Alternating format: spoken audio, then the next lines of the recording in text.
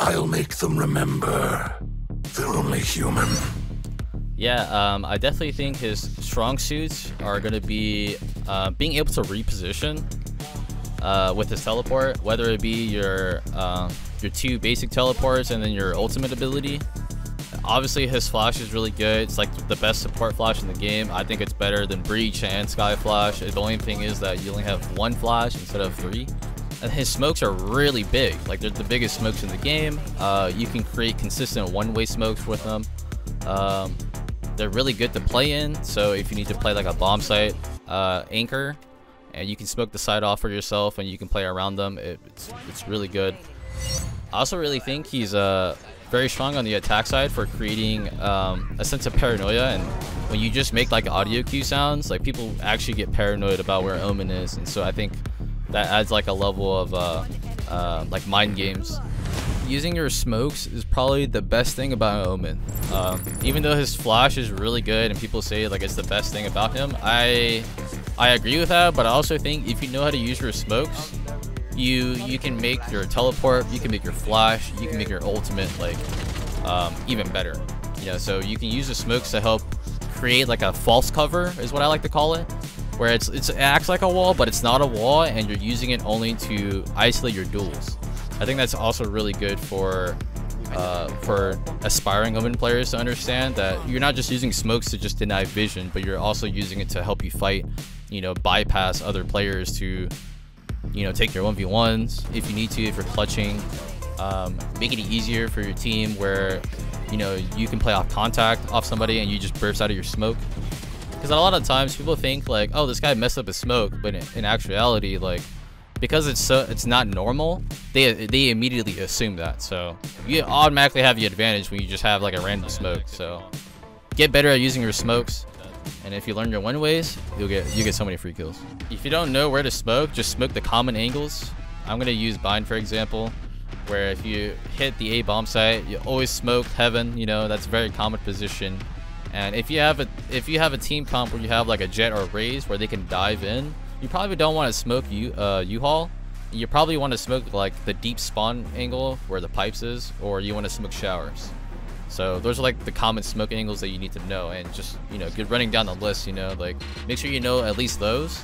So that way when you do like take a bomb site, um, you know, you have smokes to, to create delay and they can't just like get free kills on the rotate. So using your flash, there's so many times where people um, think that they'll get free kills.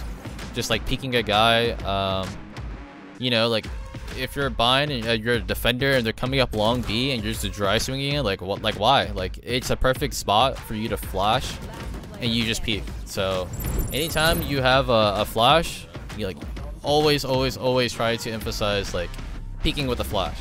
And then if you do see the situation where like, hey, I'm stuck in a position, use your teleport. Always emphasize using your teleport instead of, uh, you know, relying on a teammate because you can be pushed up somewhere and realize like, oh, you know, I'm in a bad spot, and you can immediately teleport out. And I think a lot of omens make the mistake of, uh, I'm stuck here, and they just proceed to stay stuck. Don't go for the Flexinja play. Uh, I see that a lot. Everybody will do like the flash omen TP play. Um, you really only do that if you have like a hard read, and that's where I think like a lot of omens kind of mess up on.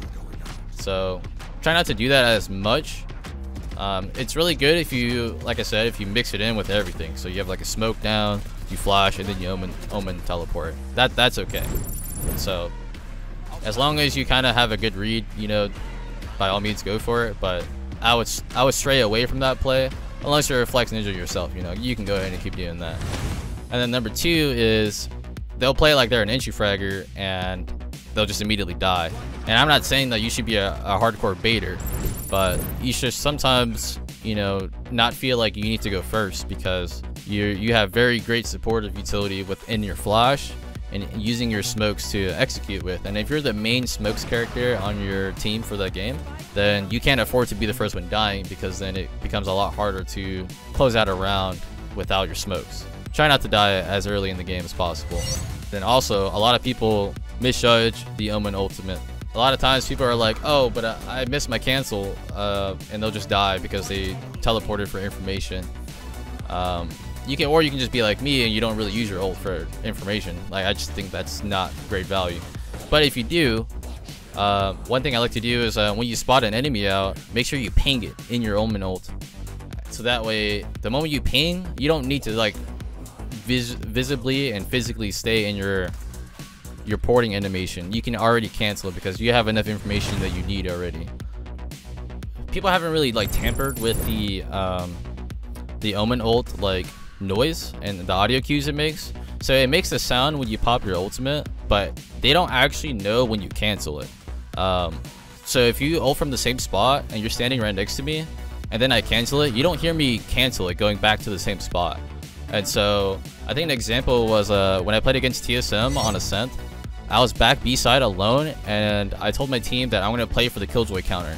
And basically all I'm doing is I can ult out of the Killjoy ult, so I don't get detained, and then I cancel it, and uh, they, they were just like three guys in my face, and they didn't know that I, I was there, because they thought I just left. But if I cancel it, he, he has no idea because it makes no audio sound. So I was just behind like Wardell for free. I killed him. I think I killed Cutler and Hazed, and that was the end of the round. So that's all for today. Let us know which agents you'd like tips on next. As always, don't forget to like, comment, and subscribe. Good luck in your training.